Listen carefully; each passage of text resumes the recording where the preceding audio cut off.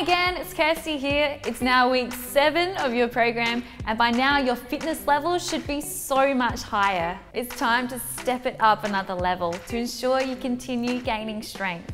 And if your goal is to lose weight, these tips will help you overcome a plateau.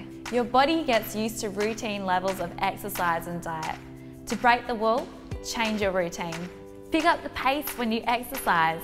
Use a stopwatch and try to walk or run further in the same amount of time. If you're short on time, double the intensity for the same results.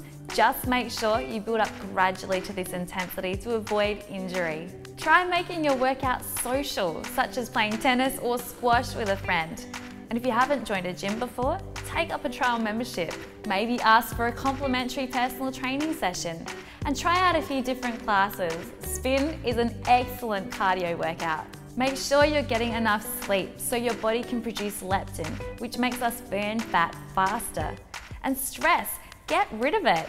It increases levels of cortisol in our body, which makes us hang on to unwanted fat stores. Most importantly of all, stay positive and be patient. You're on the right track. Make every day count.